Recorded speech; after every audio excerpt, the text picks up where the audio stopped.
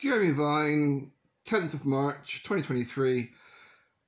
This was about 11.50. Yes, she was wearing a different outfit. A woman called Storm, she's a vile, vile person. The hatred when she looks at men is, uh, especially the English. Now, she came out with a comment just now about the NHS. Oh, well, if we have to have money for the NHS, I mean, if I were to go skiing and break my leg, I would expect them to fix it for free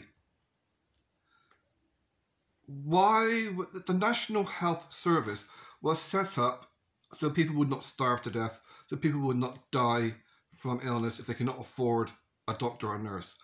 She's on because the Americans pay quite well because all these channels were owned by America.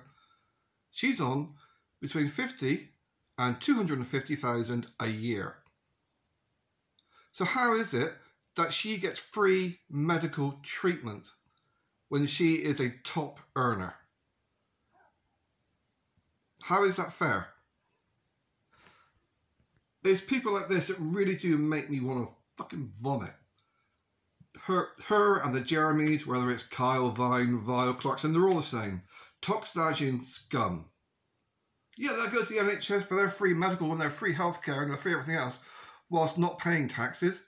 And yet, how is it they can justify getting free medical care, which is if you're getting something for free from the NHS, that means you're taking it away from someone who actually deserves it, who actually needs it, who actually cannot afford to go private. So far as I'm concerned, she is fucking scum because she is taking away medical care from people who can't afford private care, who don't have jobs, who can't, who don't have work, or who are disabled.